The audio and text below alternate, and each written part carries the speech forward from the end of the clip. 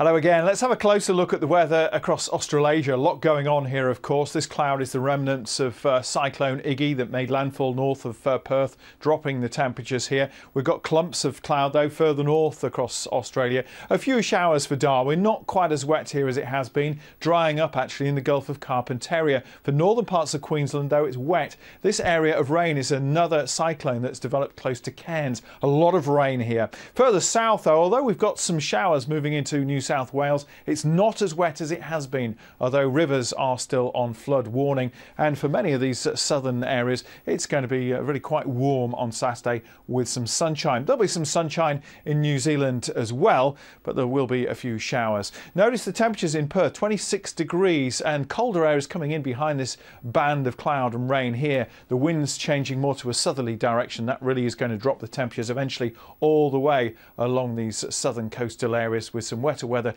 moving its way through Melbourne and Hobart, but it should be drying off in Cairns during the second half of the weekend as that cyclone moves away. And dry in Perth as well. Temperatures beginning to pick up actually again during next week, but cooler in Adelaide and Melbourne. Should be dry in Brisbane and pleasant enough in Wellington with some sunshine.